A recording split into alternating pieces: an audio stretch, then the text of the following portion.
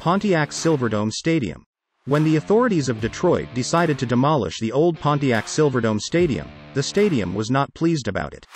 Despite the initial explosions, Silverdome remained standing. It seems like it didn't want to leave so easily on that frosty morning.